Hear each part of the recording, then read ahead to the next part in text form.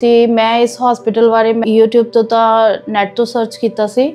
ਤਾਂ ਮੇਰੀ ਇੱਥੇ ਸਰਜਰੀ ਹੋਈ ਹੈ ਹਰਨੀਆ ਦੀ। ਮੇਰੀ ਸਰਜਰੀ ਇੱਥੇ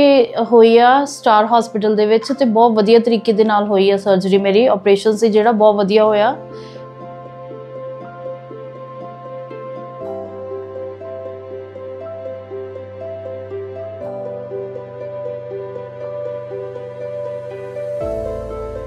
ਮੇਰਾ ਨਾਮ ਰਜੀਵਾ ਆ, ਮੈਂ ਜਲੰਧਰ ਤੋਂ ਆ ਤੇ ਮੈਂ ਇਸ ਹਸਪੀਟਲ ਬਾਰੇ YouTube ਤੋਂ ਤਾਂ ਨੈਟ ਤੋਂ ਸਰਚ ਕੀਤਾ ਸੀ,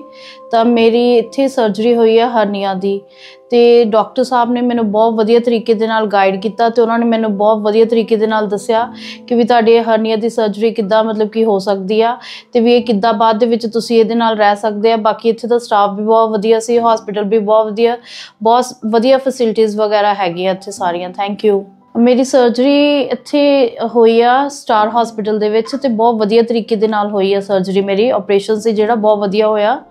ਤੇ ਉਸ ਤੋਂ ਬਾਅਦ ਕੋਈ ਇੰਨੀ ਪ੍ਰੋਬਲਮ ਨਹੀਂ ਮੈਨੂੰ ਹੋਈ ਹੈਗੀ ਹੈ। ਚੱਲਣ ਫਿਰਨ ਦੇ ਵਿੱਚ ਵੀ